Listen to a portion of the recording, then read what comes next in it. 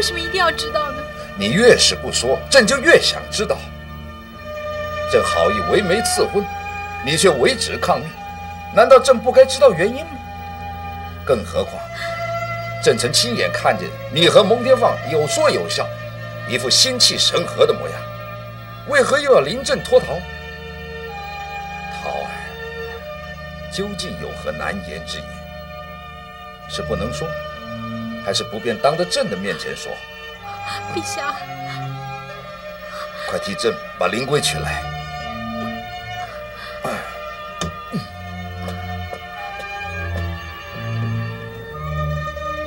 啊，陛下，快拿灵龟！灵龟并不在里面呢。啊！朕再三交代，他还是忘了。他换上了不依朕的话，就不是圣旨了吗？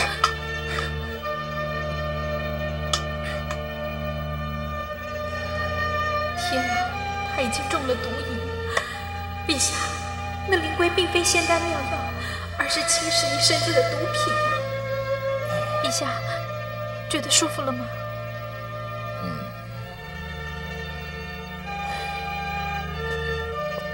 好在有卢芳的龙虎大丹，否则朕的病痛，真不知该如何疏解。你有何大病痛？唉，没什么，只是一些小毛病。待卢芳练就了长生不老的仙丹，朕就可以永远免受病痛之苦了。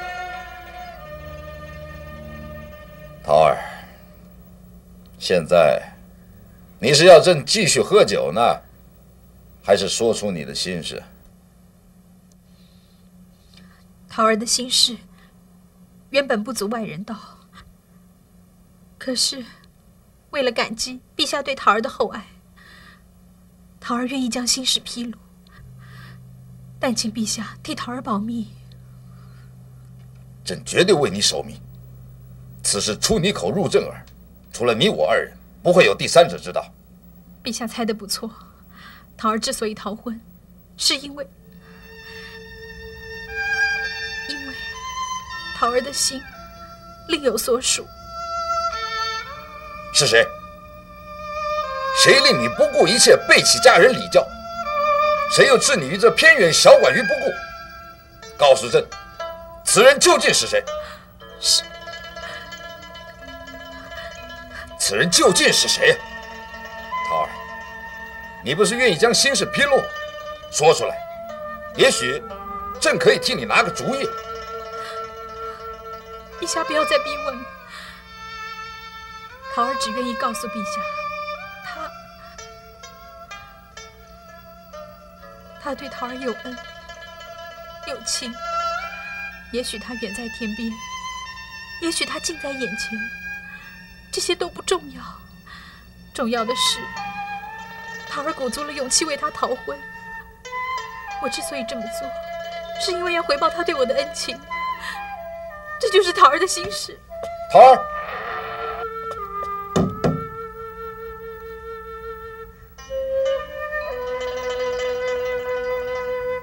哎，卖猪肉的！爷娘，爷娘，爷娘，还要点什么东西啊？只要你今天能点出来的东西，我一定想尽办法给你买。谁叫卢爷对不起你？让你受委屈了，哎，叶娘，对不起，都是卢爷的错，你就原谅我吧。哎，你要买鞋啊？叶娘，这双鞋做的多精致啊！怎么样，我买给你好吗？哎哎，姑娘，哎，上好的皮货，哎，来看看上好的皮货，哎，这边看看啊。叶娘，哎，上好的皮货，看看这双鞋好吗？你想买一个我就买嘛。嗯，好好好，来来来，把念念姑娘打包起来啊！上好的皮货。哎，姑娘，你要点什么？我这儿啊，有兔毛、牛皮、羊皮、鹿皮、虎皮、骆皮，哎，都是一流的货色。那前世……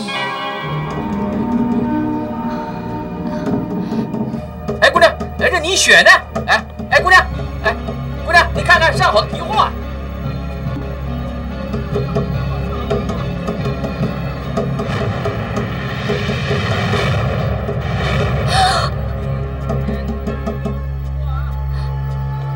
爷娘，你怎么了？啊，没什么。你看看这双鞋，我给你挑的。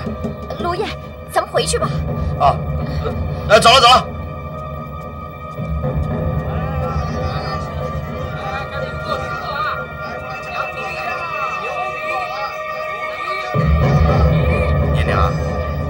到底怎么了？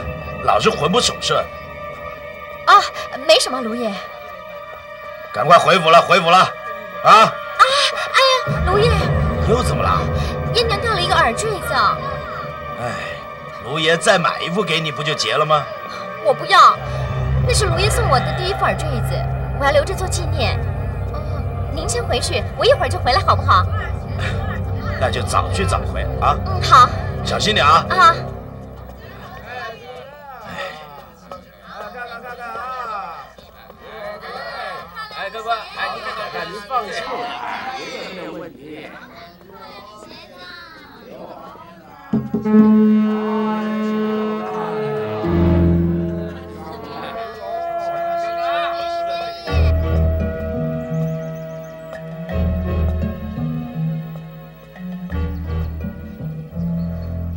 你到底隐姓埋名，改头换面的故人，爷娘。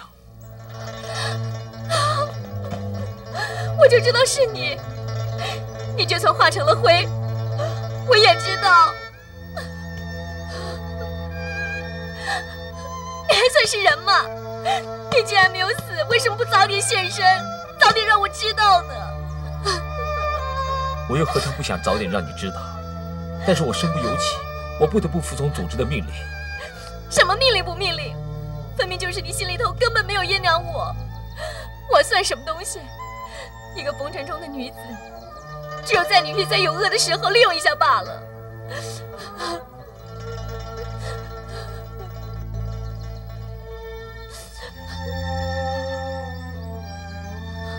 爷娘，你对毛某情深意重，我没齿难忘。鬼才相信你呢！爷娘为了你，绞尽脑汁，疲于奔命，看见戚玉石的尸体，爷娘的心都碎了。我先问你，范英跟你们这些人可有关系？嗯。你真是该千刀万剐！你知不知道？你早点告诉我，不就什么事也没有了吗？你不但害我伤心欲绝，还害我冤枉了范英，破坏了冬儿姑娘和蒙天放的姻缘。你知不知道？为此，我差点死于卢芳之手！哎，我所受的这些委屈，你当然都不知道了。爷娘，我知道为了我，让你受了不少委屈。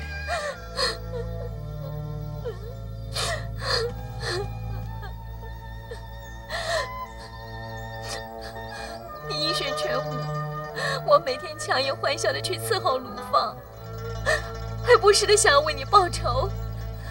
这下子可好了，别人没有对不起我，是我对不起他们。这笔账都该记在你的头上。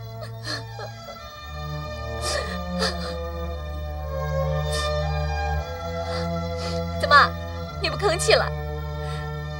你又想以不变应万变，是不是？哼，门儿都没有。总算老天有眼。今儿个让咱们见面，今天我们可得把话说清楚。当初多么你小以大义，让我这个在风尘中打滚的女子，也有机会为你们尽绵薄之力。如今责任已了，这种日子，我可不想再过下去了。你有何打算？你总不能叫我假戏真做，嫁给卢芳吧？我想了想。只有两条路可以走。第一条就是跟你走。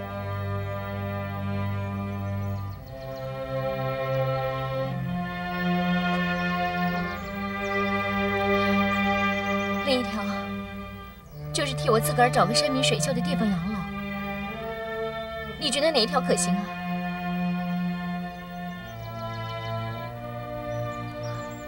当然第一条我知道是行不通的。这件事不是在赴卢府之前，我们已经讲好了吗？我知道啊，我已经说了行不通嘛。好在我手上还有点积蓄，我爷娘谁都不靠，就靠我自己。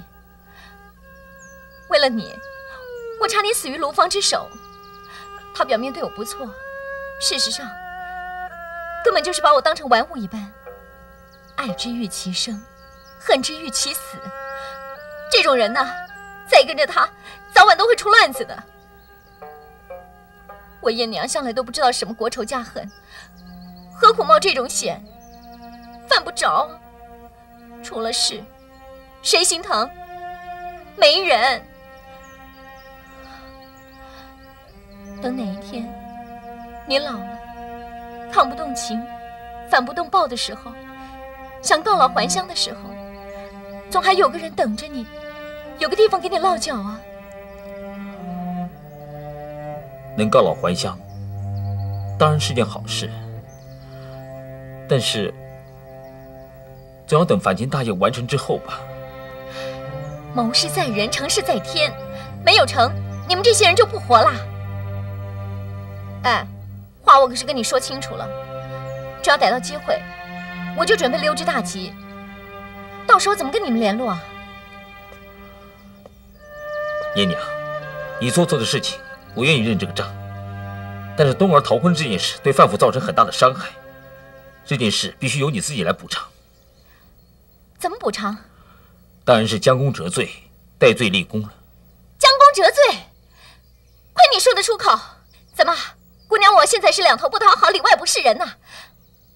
不错，冬儿姑娘是因为我送去的东西而逃婚，可是我这么做是为了什么？为了你这个没良心的！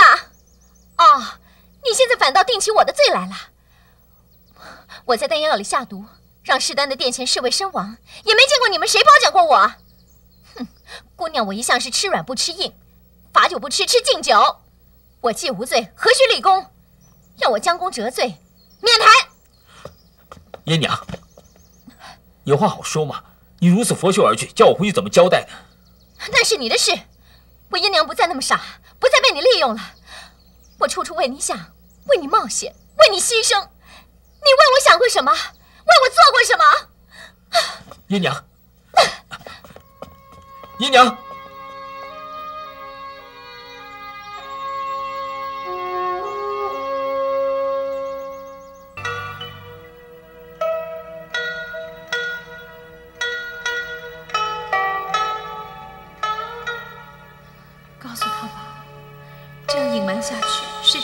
瞒得了多久？也许我当面为爷爷求情，他会原谅爷爷，而只责罚卢芳。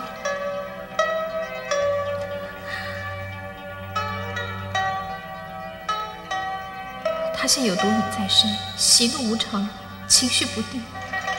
万一表面答应了我，回去被人进了谗言，又改变心意，爷爷的性命岂不难保？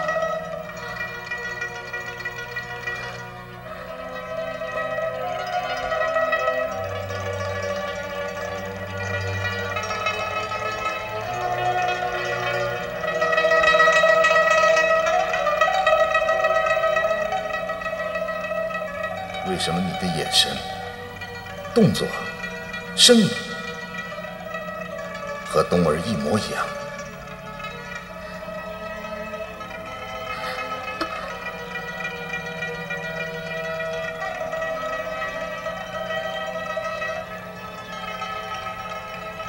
你可知这只玉佩是朕和冬儿的定情之物？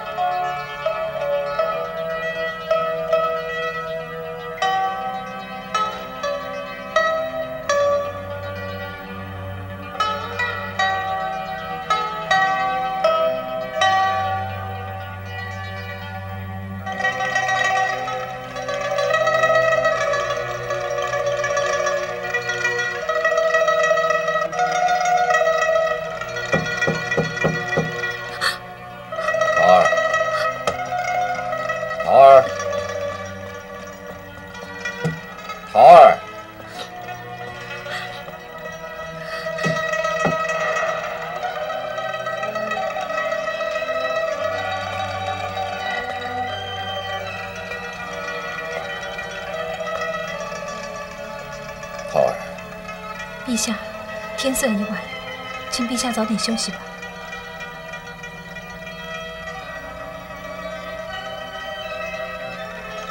桃儿，朕，朕不该逼问你的心事。为媒赐婚，为的是让你幸福。倘若因此而造成你的不快，倒是朕始料未及的。你逃婚是为了追求幸福，朕不致怪罪于你。但是，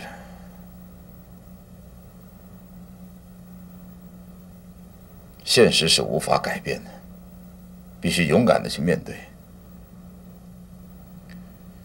朕必须要面对的是，即使你再像冬儿，仍不是冬儿，人无法取代冬儿在朕心目中的地位。而你必须面对的却是，你对你所钟情的男子有情有义，也万万不可让他把你当成另外一名女子的影子。陛下，桃儿，朕必须趁着冷静的时候把话说完。姑娘家只身在外，多所不便。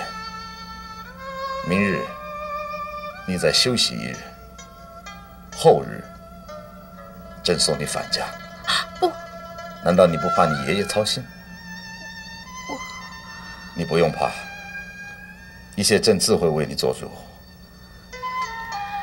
多谢陛下。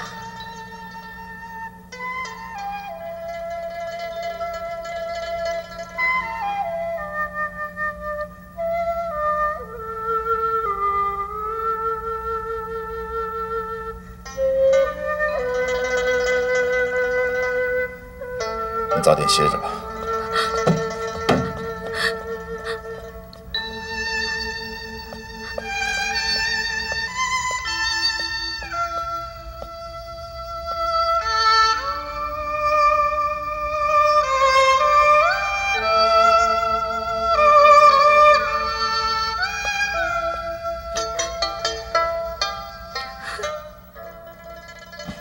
不想成亲就别成亲。答应了婚事，又这样贸然逃婚，这不是闹笑话吗？再说他跟天放也是情投意合，讨马未转成皇上又怎么样？皇上不知道他是冬儿又怎么样？他这样子逃婚离家，非但解决不了问题，反而会让事态更严重。到现在音讯全无，也不知道他在什么地方。好歹也捎个平安信回来啊！这离家出走。可不是他开的先例，真不知道他是跟谁学的。哎，有了！哎，咱们以后啊，先约好一个地方，凡是离家出走的人都到那儿去。哎，这样大家就可以不用那么操心啦。徐福，事不宜迟，出海蓬莱恐怕要提前了。哎哎，先生。丹药未成，如何提前呢？两炉丹药都要加把劲儿。出海的最佳时机是卢方炼成金丹，准备献丹之前呢。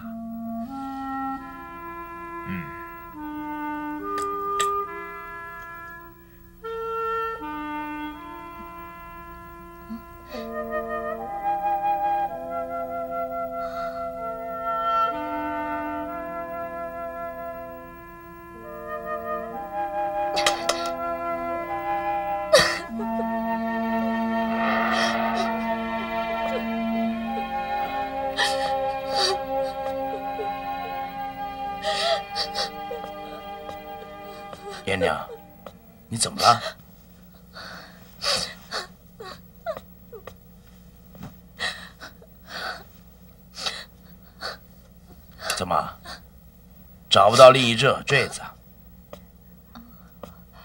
哎，为了这么一个三分不值二分的东西，用得着这么伤心吗？可那个是卢爷送爷娘的第一幅。好好。改明儿个卢爷我多送你几副，不就结了吗？再多也不是原来的那一副了。哎，爷娘，你别傻了，不论哪一副，不都是卢爷送的吗？别哭了啊！看见你为了一副耳坠子哭成这样，真叫人心疼啊！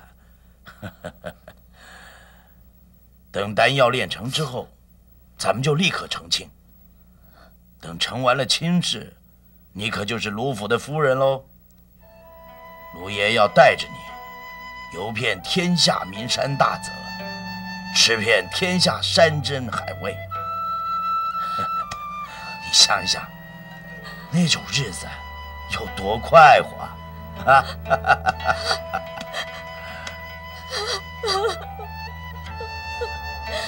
又怎么了？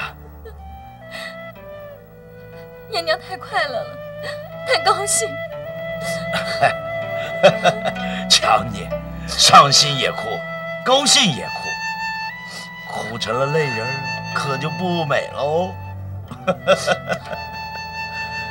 你快睡吧，卢爷还得去炼丹房一趟，别胡思乱想了，啊。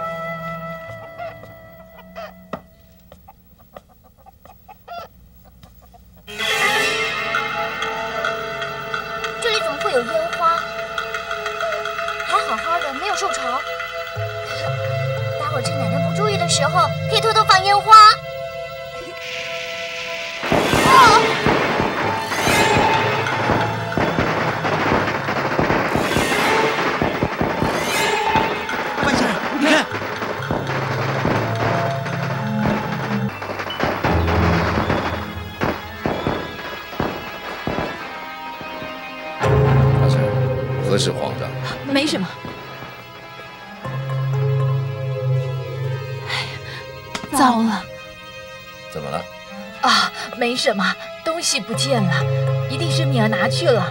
壮士，您看见敏儿了吗？我没看见。那我先找敏儿，回来再来招呼你。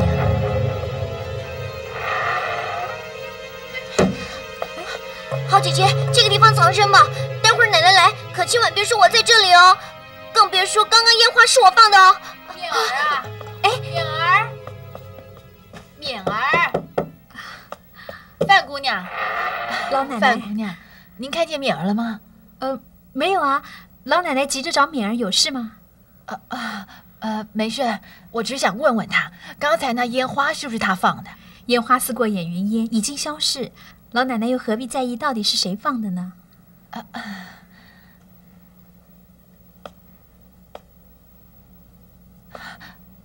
范姑娘，你可是在逃避仇家的追捕啊！老奶奶，你怎么会这么问？我只是随便问问，您别在意啊。不会的，我从来没有跟人家结怨生仇，哪来的仇家呢？那就好，那就好。范姑娘，不管你为什么离家，只身在外，家里的亲人难免会惦记着，你还是托人捎个信儿，告诉他们你在这儿落脚吧。嗯谢谢老奶奶关心。没什么。哎，这个敏儿啊，又不知道躲到哪儿去了。老奶奶，你别担心，该出现的时候她自然就出现了。哎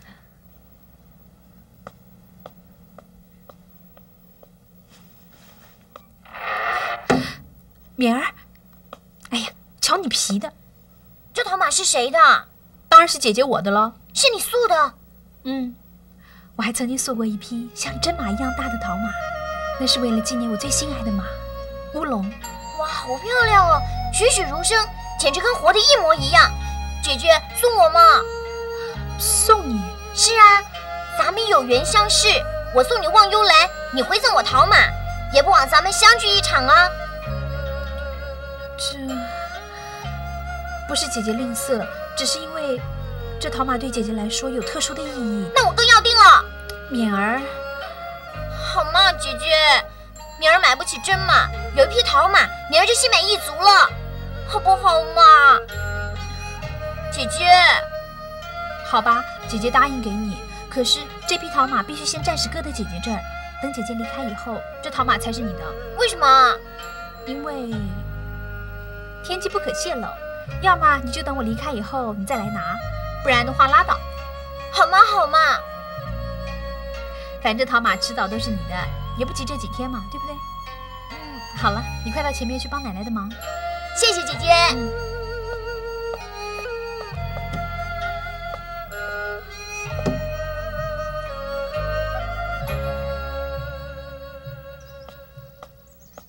走开，走开！大爷，麻烦您通报一声好不好？我们这里有急事。走开，走开，走开！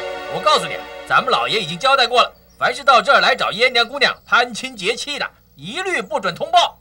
少啰嗦了，叫你走开就走开！啊，走开，走开！叫你走开，你走开了。你好，你行行好啊！我们已经走了好几天的路了，好不容易才到了咸阳，你好歹让我们跟燕娘见个面吧。是啊，大叔，我们是燕娘姑娘的表亲，麻烦帮我们通报一声行吧？哎，你这。姨娘，姨娘，姨娘，我是大牛啊！姨娘，我跟你在一块长大的，你不认识我了吗？走了，人家根本就不认识你，你还在这儿啰嗦什么？我告诉你啊，你在这儿撒野的话，我对你不客气了。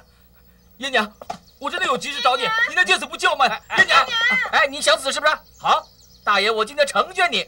来人呐，在，拿木棍把这两个人轰出去。是，住手！燕娘姑娘，别动刀动棍的。我见见他们。是。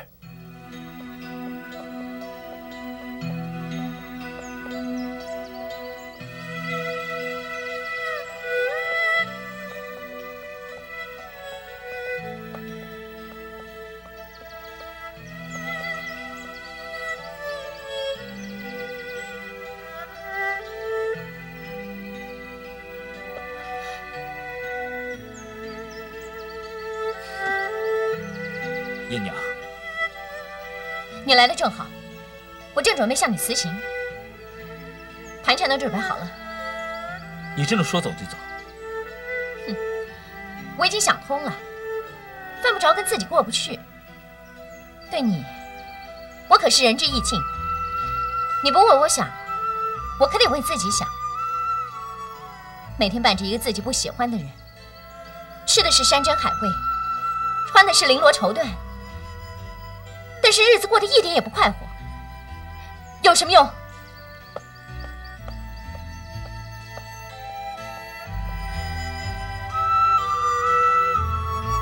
燕娘，你说的没错，我也会有老的一天。当我老的时候，也需要一个老伴，跟我相扶持。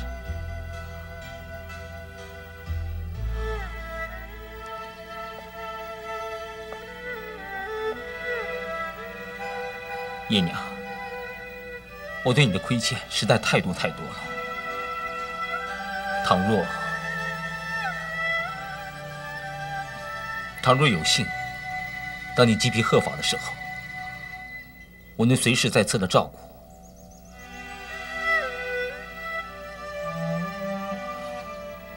从日出到日落，陪你看春露秋霜，有福我们同享。有难我们同当，这是我唯一能为你做的补偿。你不要再哄我了，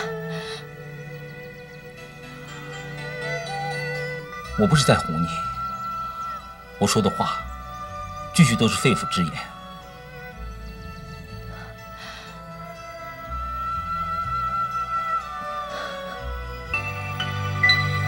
今天早上，我接到了消息，冬儿总算被找到了。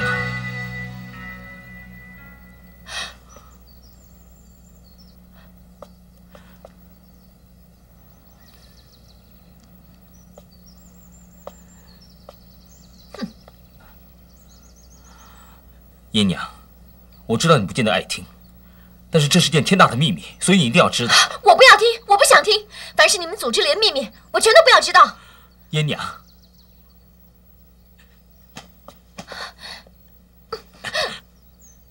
燕娘，不在于你要不要听，想不想听，因为这件事你必须要知道，所以我一定要告诉你。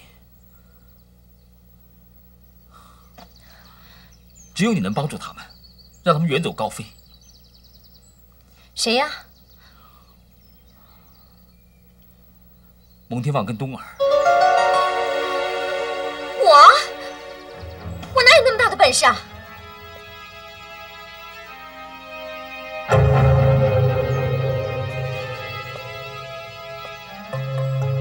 你只要将此药掺入卢芳所炼的金丹之中，那蒙天放跟冬儿自然可随徐福远渡蓬莱。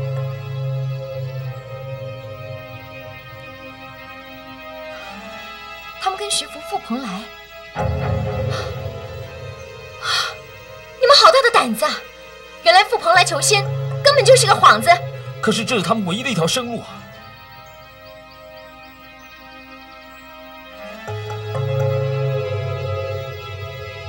将此药掺入卢芳炼成的金丹之中。待卢芳试完金丹之后，将剩下的一颗金丹参此剧毒，金丹变成了毒丹，皇上必死无疑。嗯除暴安良。爷娘，你也算是立了大功一件。可是，可是我怎么办呢？如果他们发现是我动的手脚，我如何脱身？又如何离开卢府？又往何处去？爷娘，你放心，我会派弟兄接你。你最安全的去处，自然也是蓬莱。蓬莱之行有玉娃、小球儿、冬儿，有他们陪你，你就不会寂寞。这样，我也比较放心。但是，咱们不是相见无期了吗？还谈什么晚年为伴？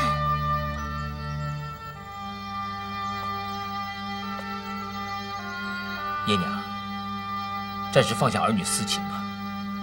就算你不赴蓬莱，我出生入死，也难保有再相见之期呀、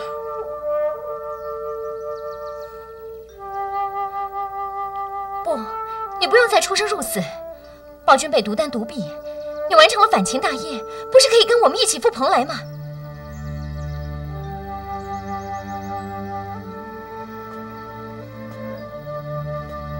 能除去嬴政，但愿毛某能一同赴蓬莱。好，既然此事攸关众人之前途命运，颜娘只有当仁不让，全力以赴了。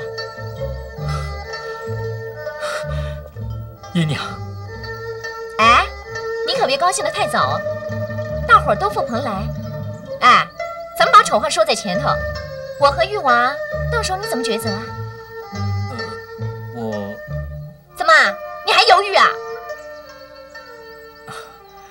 那当然是毛壮士，毛壮士，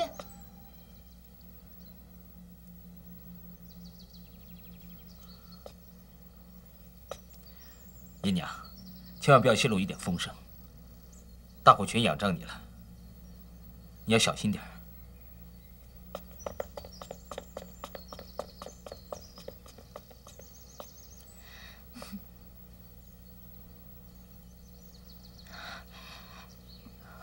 我疯了！这么危险的事情，我干嘛答应他？哎呀，慢点，当心把它给洒了。你呀，什么都自作聪明。这捡到烟花也不知道问奶奶能不能放啊，结果你把它给放了，这万一害了范姑娘，你说咱们怎么对得起人家呢？你哟，真是。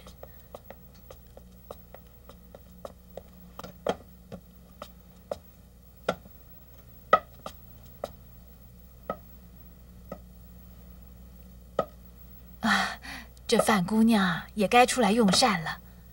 敏儿，去请范姑娘出来用膳。敏儿，奶奶说话你没听见呐？啊？哦哦，我就说嘛，怎么没听见奶奶说的话？原来是耳朵堵住了。嗯，你真够皮了你！那你现在还不赶快去？去哪里啊？请范姑娘出来用膳。哦，宋婶，帮我打两斤酒来。好久没来了，怎么家里有客人啊？是啊，今天我那口子生日，他几个弟兄都来了，哎，可忙死我了。哎，等一下就来了，谢谢你啊。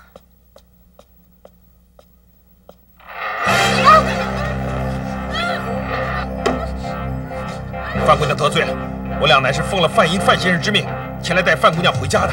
范先生病了，现为思念姑娘，请姑娘即刻随我们返家吧。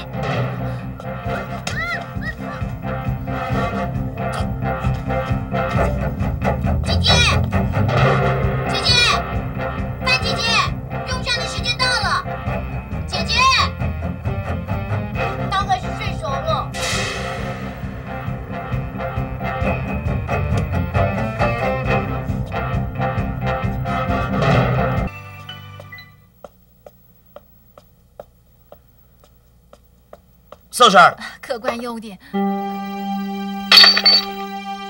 宋婶儿，你没事吧？没事。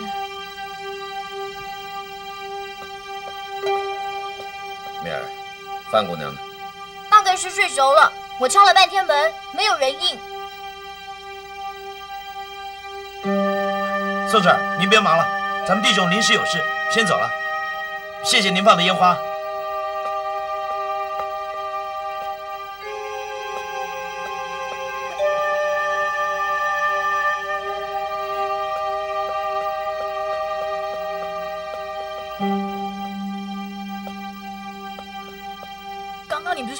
开吗？刚才房门明明是紧闭的啊！范姑娘，范姑娘，哎呀，这糟了，这范姑娘不见了，一定被小驴子那伙人带走了。姐姐走了，陶马归我的了。什么陶马？是姐姐送我的陶马，是姐姐亲手塑的，我要拿去给大叔看。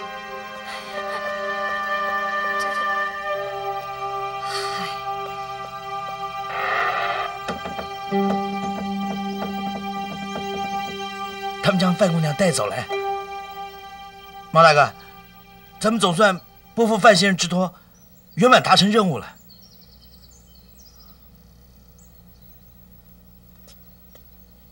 小驴子，嗯，咱们成天喊着反秦，如果嬴政卓布衣在你面前出现，你可认得？这，他怎么会着布衣呢？即使为父出巡的话，他身边也应该会有多位身强体壮，而且又身手不凡的贴身侍卫，这应可看出个端倪啊。倘若他身边没有身手不凡的武功侍卫保护着，你可敢公然行刺？这，这我当然敢了。哼，行刺嬴政，是替天行道，为民除害。这种送上门的机会，岂可轻易放过？好，那我们就再登门造访一次吧。毛大哥，你说什么啊？我们登门造访谁啊？当然是这。这是小驴子交给我的画像，我知道，他们要找的就是范姑娘，因为两年多没见她，并不清楚她的底细，没敢跟她通风报信。他给我的烟花我也没放，天，巧不巧就让我们敏儿给捡去，他给放了，把那些人给引来了。现在范姑娘不见了，听刚才小驴子的口气，好像是他们带走的。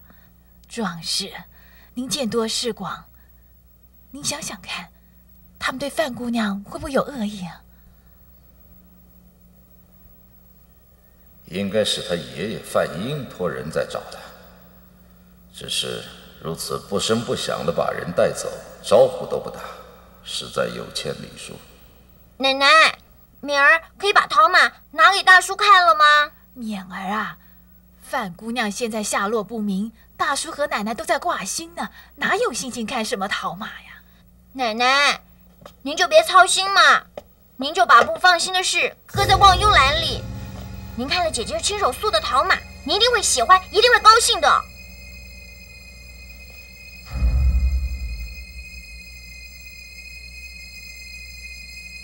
这是他亲手塑的陶马，她们姐妹俩陶塑的手艺竟是一样的高明。敏儿没骗你们吧？是不是栩栩如生？本来姐姐不肯把陶马送给敏儿的，说什么陶马对她有特殊的意义，是敏儿求了半天，她才答应送给我的。但是还得等她走了以后，才准我取出来给别人看呢。为什么呢？敏儿不知道，姐姐说天机不可泄露。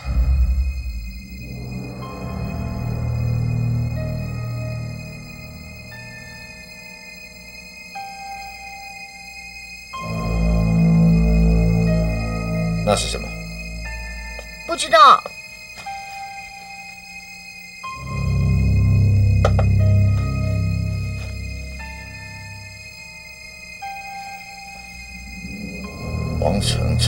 兮，东而逝；如蛹化蝶兮，桃而生。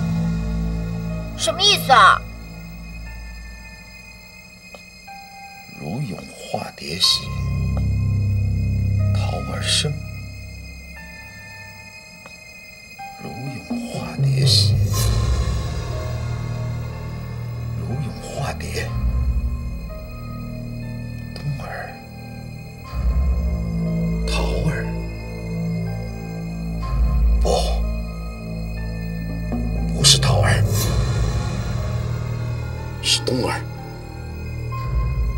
是冬儿。冬儿竟然没有死！